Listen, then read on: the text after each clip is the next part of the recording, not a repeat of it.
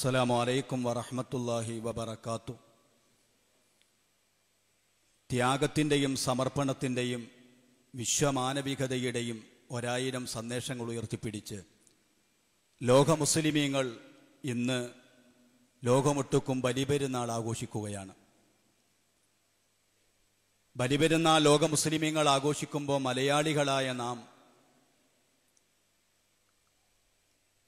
വേദനയുടെ നടുവിലും കണ്ണീരിൽ കുതിർന്ന ഒരു പെരുന്നാളാണ് നമ്മൾ ആഘോഷിക്കുന്നത്.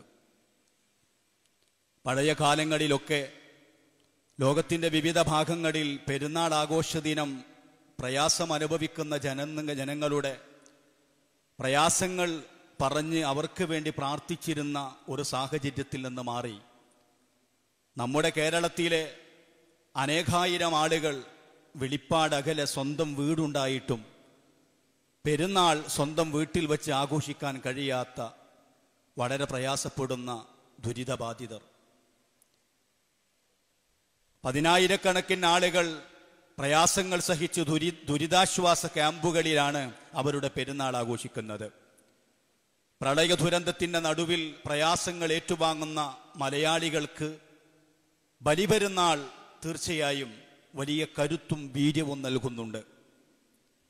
ആ കരുത്തും വീര്യവും ഇതിന്റെ കാരണം എന്താണ് ഒരു മഹാപ്രളയത്തിന്റെ പ്രളയത്തിന് സമാനമായത് അതിലേ അതിലേറെ വലുതായ തീഷ്ണമായ തീവ്രമായ പരീക്ഷണങ്ങളും വെല്ലുവിളികളും പ്രതിസന്ധികളും ജീവിതത്തിലുടനീളം ഏറ്റുവാങ്ങിയ നാലായിരം വർഷങ്ങൾക്ക് മുമ്പ് ജീവിച്ചുപോയ ഒരു പിതാവിന്റെയും ഒരു മാതാവിന്റെയും ഒരു മകന്റെയും ചരിത്രമാണല്ലോ ബലിപെരുന്നാളിന്റെ പശ്ചാത്തലം. ആ ബലിപെരുന്നാളിന്റെ പശ്ചാത്തലം നമുക്കറിയാം. ഖലീലുല്ലാഹി ഇബ്രാഹിം നബി അലി ഇസ്ലാമിന്റെയും മകൻ മഹ- മഹദിയായ ഹാജർ റബീബ് റതിയുല്ലാഹുനകയുടെയും തന്റെ പൊന്നുമോനായ ഇസ്മായിൽ അലി ത്യാഗോജ്ജലമായ ലോകത്ത് ഏത് കാലത്തും ജീവിതത്തിന്റെ പരുപരുത്ത പ്രശ്നങ്ങളുടെ കടൽ കടന്ന് പ്രളയ ദുരിതങ്ങൾ കടന്ന് മുന്നോട്ട് പോകുന്ന ഏതു മനുഷ്യരുടെയും മനസ്സിന് ആത്മവീര്യവും ധൈര്യവും മുന്നോട്ട് നീങ്ങാനുള്ള പ്രചോദനം നൽകുന്ന ചരിത്രമാണ് ജീവിച്ച് ലോകത്തിന് പകർന്നു കൊടുത്തത്. വിശദമായൊരു പ്രസംഗത്തിന്റെ ആവശ്യം ഇവിടെയില്ല.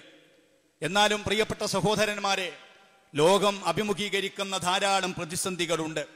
പ്രകൃതി ദുരന്തങ്ങൾ ഒരു ഭാഗത്ത് ലോകത്ത് മനുഷ്യരുടെ ജീവിതത്തിന്റെ ജീവിതത്തിന്റെ മാർഗതടസ്സങ്ങൾ സൃഷ്ടിക്കുമ്പോൾ മറുഭാഗത്ത് മനുഷ്യരുടെ സന്തോഷകരമായ സുഖകരമായ ജീവിതത്തിന് പലപ്പോഴും മങ്ങലേൽപ്പിക്കുന്ന മാനവിക മൂല്യങ്ങൾക്ക് വിരുദ്ധമായ വംശ ഭാഷ ദേശ നാഗരിക വൈജാത്യങ്ങളുടെ പേരിലുള്ള ലോകത്ത് ഇന്നും ആധുനിക ലോകത്ത് പരസ്പരം തിരിച്ചറിയുവാനുള്ള ധാരാളം മാധ്യമങ്ങൾ ഉണ്ടായിട്ടും ചൂഷണം ചെയ്യപ്പെടുന്ന അധിക്ഷേപിക്കപ്പെടുന്ന ആധുനിക മനുഷ്യരുടെ മുന്നിൽ അറഫയും ഹജ്ജ് കർമ്മങ്ങളും ഇരു പത്ത് മുൽ- മുപ്പതിലേറെ വരുന്ന ലക്ഷം വരുന്ന ഭൂമിയുടെ അഷ്ടദിക്കുകളിൽ നിന്നും ഒഴുകിയെത്തിയ മാനവിക സംഗമം ലോകത്തിന് നൽകുന്ന ധാരാളം നല്ല മെസ്സേജുകളും പാഠങ്ങളുമുണ്ട്. ഇബ്രാഹിം നബി അലിഖിസ്സലാം ജീവിതത്തിൽ അഭിമുഖീകരിച്ച ത്യാഗത്തിന്റെ വലുപ്പം നമുക്കറിയാം.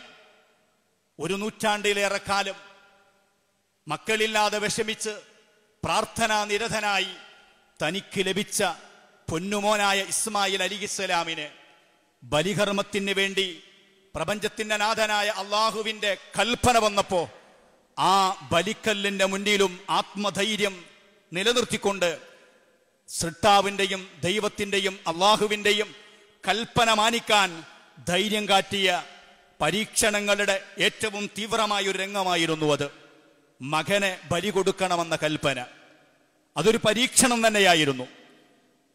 ഇബ്തല ഇബ്രാഹിം അറബുഹു ബികലിമാത്തിൻ ഖാല ഇന്നി ലിന്നാസി ഇമാമ. വിശുദ്ധ ഖുർആൻ അത് ലോകത്തിന്റെ മുന്നിൽ വരച്ചു കാട്ടുന്നുണ്ട്. ഇബ്രാഹിം നബി അലി ഇസ്ലാമിന് അള്ളാഹു ധാരാളം പരീക്ഷണങ്ങൾ നൽകി പരീക്ഷിക്കുകയുണ്ടായി. പക്ഷേ ആ പരീക്ഷണങ്ങൾ ഭൗതിക ലോകത്ത് ഒരു പ്രവാചകനായി ഏറ്റവും വലിയ ശുദ്ധനായി ഏറ്റവും വലിയ പരിത്യാഗിയായി ജീവിച്ചിട്ടും ലോകത്ത് വലിയ വലിയ പരീക്ഷണങ്ങൾ നേരിടേണ്ടി വന്നു എന്ന് പറഞ്ഞാൽ അത് നൽകുന്ന പാഠം എന്താണ്? ഭൗതിക ലോകമെന്ന് പറയുന്നത് പരീക്ഷണങ്ങൾ ഏറ്റുവാങ്ങാനുള്ള ഒരു ലോകമാണ്. വിശുദ്ധ ഖുർആാനിൽ സൂറത്തുൽ ഫലതിൽ അള്ളാഹു പറയുന്നുണ്ട് ഫല ഉഖ്സിമു ബിഹാദൽ ബലദ് ബിഹാദൽ ലഖദ് ഖലഖനൽ ഇൻസാന ഫീ കബദ്. വിശുദ്ധമായ അതി അതിപുരാതനമായ അതിമ അതി അതിമഹത്വമേറിയ മക്കയെയും മക്കയിലെ കഅബയെയും പിടിച്ച് സത്യം ചെയ്തുകൊണ്ടാണ് ഖുർആൻ പറയുന്നത്. ആ മക്കയിൽ ഭൂജാതനായ പ്രവാചകരുടെ പ്രാധാന്യം പറഞ്ഞുകൊണ്ടാണ് അള്ളാഹു പറയുന്നത്. വവാലിധിം വമാ വലത് പിതാവിനെയും മകനെയും അഥവാ ആദൻ നബി അലി ഇസ്ലാമിനെയും ആദം സന്തതികളായ മുഴുവൻ മനുഷ്യരെയും ഈ ലോകത്ത് സൃഷ്ടിക്കപ്പെട്ട ജീവികളിലെ മഹാ അത്ഭുത ജീവിയായ മനുഷ്യനെയും സത്യം ചെയ്തുകൊണ്ട് ഖുർആൻ പറഞ്ഞു. ലഖദ് ഖലഖനൽ ഇൻസാന ഫീ കബദ്. മനുഷ്യർ മനുഷ്യരെ നിശ്ചയമാം ഞാൻ സൃഷ്ടിച്ചത് ജീവിതത്തിൽ പ്രയാസം അനുഭവിക്കേണ്ടവനായിട്ടാണ്. പ്രയാസത്തിൽ ഊട്ടപ്പെട്ടവനായിട്ടാണ് മനുഷ്യനെ സൃഷ്ടിച്ചത്.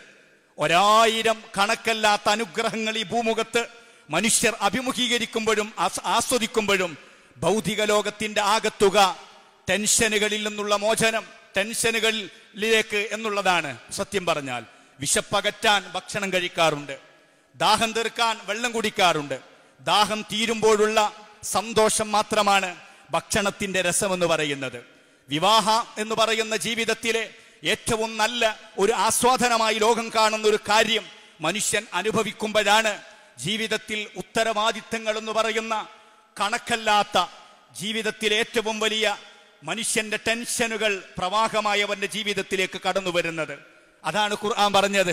വിശുദ്ധ ഖുർആൻ അത് വരച്ചു കാട്ടുന്നുണ്ട്. ലോകത്ത് മനുഷ്യനെ സൃഷ്ടിക്കപ്പെട്ടത് പ്രയാസം സഹിക്കേണ്ടവനായിട്ടാണ്. അതാണ് ഖലീലുല്ലാഹി ഇബ്രാഹിം നബി അലിസ്സലാമിന്റെ ജീവിതകാലം മുഴുവനും തീഷ്ണമായ പരീക്ഷണങ്ങൾ. ധിക്കാരികളും അതുപോലെ ഏകാധിപതികളുമായ ജന്മിമാരായ സമ്പന്നരായ കോടീശ്വരന്മാരായ അധികാരി വർഗത്തിന്റെ തീക്കുണ്ടാരം മുന്നിൽ വന്നപ്പോഴും അവിടെ പതറാതെ നിന്ന ഇബ്രാഹിം നബി അലി ഇസ്ലാമിന്റെ ചരിത്രം. അതുമാത്രമല്ല മകൻ ജനിച്ചു ബലികർമ്മത്തിന് തയ്യാറായി അള്ളാഹു അഭിനന്ദനം നൽകിക്കൊണ്ട് മാനവരാശിയുടെ നേതൃപദവിയിലേക്ക് മഹാനായ ഇബ്രാഹിം നബി അലി ഉയർത്തിയപ്പോഴും വീണ്ടും കൽപ്പന വന്നു. ജനവാസമില്ലാത്ത ഒരു പുല്ല് പോലും മുളക്കാത്ത മനുഷ്യന്റെ ഭൗതികമായി ഒരിക്കലും ജീവിക്കാൻ കഴിയാത്ത മക്ക എന്ന് പറയുന്ന മലകളുടെ പർവതങ്ങളുടെ നഗരമെന്ന് പറയുന്ന ആ നാട്ടിലേക്ക് പാലായനം ചെയ്യാൻ ആവശ്യപ്പെടുകയാണ്. എന്തൊരു എന്തൊരു പരീക്ഷണമാണിത്. കൈക്കുഞ്ഞുമായി പത്നിയോടൊപ്പം ഭാര്യയോടൊപ്പം മല മലകൾ മാത്രം നിറഞ്ഞ മരുഭൂമിയിലെ ആകുന്ന മക്കയിലേക്ക് പോകണം. അവിടെ ചെന്നപ്പോൾ ജീവനുള്ള ഒരു മനുഷ്യനെയും കാണാറില്ല. അങ്ങനത്തെ ഒരു പ്രദേശത്ത് തന്റെ ഭാര്യയെയും മകനെയും അവിടെ വെച്ചുകൊണ്ട് തിരിച്ചു പോരാനാണ് ഇബ്രാഹിം നബി അലി ഇസ്ലാമിനോട് ആവശ്യപ്പെടുന്നത്. പ്രിയപ്പെട്ട സഹോദരന്മാരെ പ്രളയം കഴിഞ്ഞ് ദുരന്തഭൂമിയിൽ നിന്ന് ദുരിതാശ്വാസ ക്യാമ്പുകളിൽ നിന്ന് ഒരുപക്ഷെ ദുരിതമേറ്റുവാങ്ങിയ അനേകായിരം ആളുകൾ അവരുടെ സ്വന്തം വീട്ടിലേക്ക് തിരിച്ചു പോകുമ്പോൾ ജീവിക്കാൻ പറ്റിയ സാഹചര്യം അവിടെ ഉണ്ടായിക്കൊള്ളണമെന്നില്ല. അവർ അധ്വാനിച്ചതും സമ്പാദിച്ചതുമെല്ലാം തീർച്ചയായും വെള്ളവും ചളിയുമെടുത്ത് നശിച്ചു പോയിട്ടുണ്ടാവും. അള്ളാഹു സമാധാനം നൽകുമാറാവട്ടെ.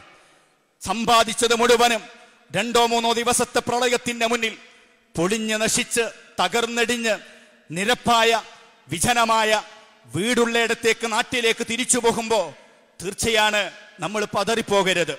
ബലിപെരുന്നാൾ നൽകുന്ന സന്ദേശം അതാണ്. മുസ്ലിമീങ്ങൾ അടക്കമുള്ള നാനാജാതി ജനങ്ങൾക്കും നൽകുന്ന ഒരു വലിയ മെസ്സേജ് അതാണ്. സഹോദരന്മാരെ ഇബ്രാഹിം നബി അലി ഇസ്ലാമിനെ അങ്ങോട്ട് പാലായനം ചെയ്യാൻ ആവശ്യപ്പെട്ടു.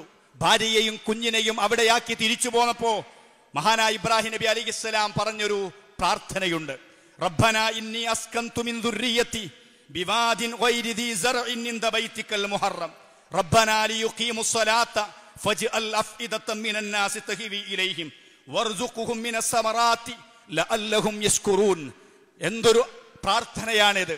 ഒന്നും മുളക്കാത്ത മലമ മലമടക്കുകളെ കൊണ്ട് നിറഞ്ഞു നിൽക്കുന്ന പർവതങ്ങളുടെ നഗരമാകുന്ന മക്കയിൽ കൊച്ചുകുഞ്ഞിനെയും പൊന്നോമനപുത്രനെയും ഭാര്യയെയും അവിടെ ആക്കിക്കൊടുത്ത് തിരിച്ചു പോരുമ്പോ എന്താണ് സഹോദര ഇബ്രാഹിം നബിയുടെ പ്രതീക്ഷ? ആ ഇബ്രാഹിം നബി റബ്ബിനോട് പ്രാർത്ഥിക്കുകയാണ്. പഠിച്ചവനെ ഒന്നും മുളക്കാത്ത വര കിടക്കുന്ന ഒരു ശുദ്ധ ഒരു തുള്ളി വെള്ളം പോലും ലഭിക്കാത്ത മണ്ണിലാണ് എന്റെ മക്കളെയും എന്റെ ഭാര്യയെയും എന്റെ അഖിലുകാരെയും ഞാൻ ഉപേക്ഷിച്ചു പോരുന്നത്. അതുകൊണ്ട് ഈ ഒരു പരീക്ഷണത്തിൽ എനിക്ക് നിന്റെ കാരുണ്യം മാത്രമാണ് പ്രതീക്ഷയുള്ളത്. പ്രതീക്ഷ നിന്റെ കാരുണ്യം മാത്രമാണ്. അതുകൊണ്ട് ഈ നാട്ടിൽ ഈ പ്രദേശത്തേക്ക് നീ ജനങ്ങളുടെ ഹൃദയത്തെ അടുപ്പിക്കണമെന്നാണ് പ്രാർത്ഥിക്കുന്നത്. ലോകത്തിന്റെ മനസ്സിനെ ഈ നാട്ടിലേക്ക് അടുപ്പിക്കുക അവരിലേക്ക് ഇണക്കം കൊടുക്കുക. ഇവിടെ ഒന്നും മുളച്ചിട്ടില്ലെങ്കിലും ഏത് ഏത് സമയവും ലോകത്ത് എവിടെ ലഭിക്കുന്ന പഴങ്ങളും അതുപോലെ തന്നെ വിഭവങ്ങളും ഈ നാട്ടിലേക്ക് നീ എത്തിച്ചു കൊടുക്കണമെന്ന് പ്രാർത്ഥിച്ചെങ്കിൽ നോക്കണം നമ്മൾ. ദുരിതബാധിതരായി വിജനമായ നാട്ടിലേക്ക് തിരിച്ചു പോകുന്നവർക്ക് അവരുടെ ഒരു ത്യാഗത്തിന് അള്ളാഹു കൊടുക്കുന്ന പ്രതിഫലം എന്താണ് ഇബ്രാഹിം നബി അലി ഇസ്ലാമിന്റെ ചരിത്രം ആ പ്രാർത്ഥനയ്ക്ക് ശേഷമാണ്. മുമ്പും ഹജ്ജ് നട- നടക്കുന്നുണ്ട്.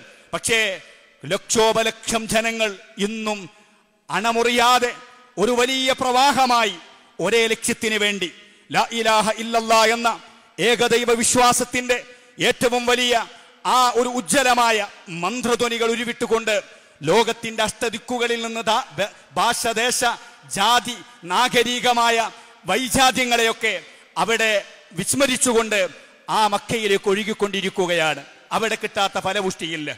പറഞ്ഞു വന്ന് അവിടെ കിട്ടാത്ത ഫലങ്ങളില്ല. അവിടെ കിട്ടാത്ത വിഭവങ്ങളില്ല. പറഞ്ഞു വന്നത് ത്യാഗത്തിന്റെ ഫലമാണ്.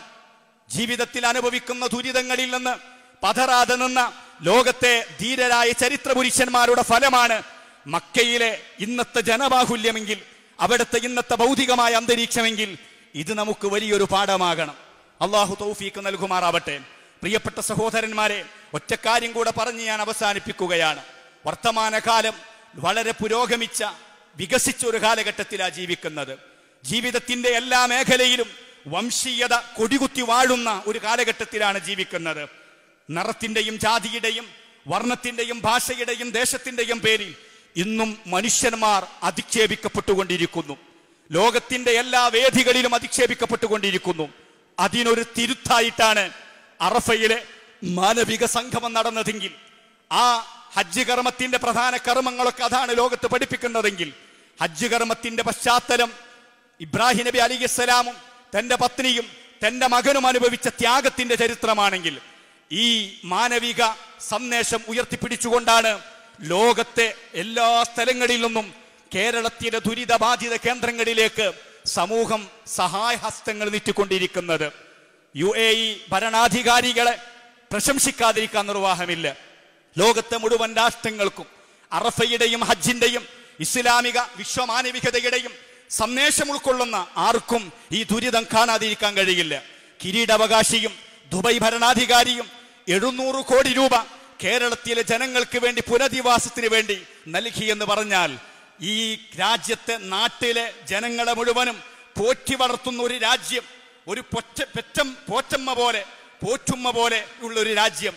ഈ രാജ്യത്തെ ജനങ്ങൾ വിഷമം അനുഭവിച്ചപ്പോഴും അവരോടൊപ്പം നിൽക്കുന്ന കാഴ്ച ലോകത്തിന്റെ വിവിധ ഭാഗങ്ങളിലുള്ള ജനങ്ങളെല്ലാം ഇത് ഉയർത്തിപ്പിടിക്കുന്നു എന്നത് മനുഷ്യാവകാശം മാനവികമായ മൂല്യത്തിന്റെ പ്രാധാന്യമാണ്.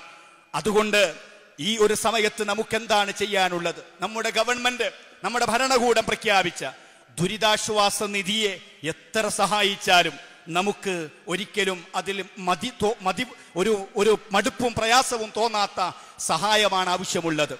സ്വന്തം ശമ്പളവും വേതനവും വരുമാനവുമൊക്കെ ദുരിതാശ്വാസ നിധിയിലേക്ക് നീക്കി വെക്കുമ്പോൾ പെരുന്നാളിന്റെ ദിവസം നമുക്കൊരിക്കലും അതിൽ നിന്ന് മാറി നിൽക്കാൻ കഴിയില്ല. അതുകൊണ്ട് മഅദീൻ ക്യാമ്പസ് എന്നും ദുരിതബാധിതരോടൊപ്പമാണുള്ളത്.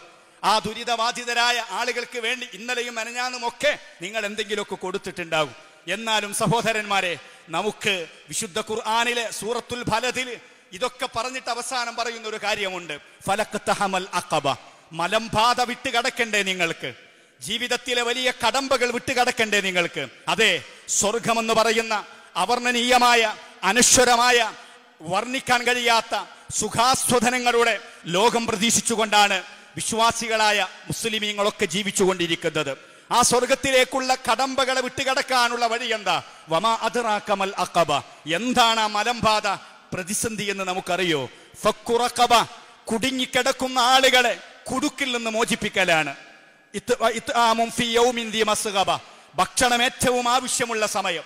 ദാരിദ്ര്യം നിറഞ്ഞു നിൽക്കുന്ന കഠിനമായ സമയത്ത് ഭക്ഷണം കൊടുക്കലാണ്. ഖുർആൻ ലോകത്ത് പറയുന്ന ഈ മെസ്സേജ് ഈ ദുരിതബാധിതരുടെ പ്രളയ ദുരിതത്തിന്റെ മുന്നിൽ നിന്ന് കണ്ണീരിൽ കുതിർന്ന വേദനയിൽ പൊതിഞ്ഞ വിഹരത്തിന്റെയും അതുപോലെ തന്നെ വേർപാടിന്റെയും നാശനഷ്ടങ്ങളുടെയും നടുക്കടലിൽ കിടന്ന് പതിനായിരങ്ങൾ അഭയാർത്ഥി ക്യാമ്പിൽ ഇന്നും പെരുന്നാൾ ആഘോഷിക്കുമ്പോൾ നമുക്ക് സുന്ദരമായി പള്ളിയിൽ വന്ന് നമ്മുടെ വീടുകളിൽ പെരുന്നാൾ ആഘോഷിക്കാൻ കഴിഞ്ഞല്ലോ.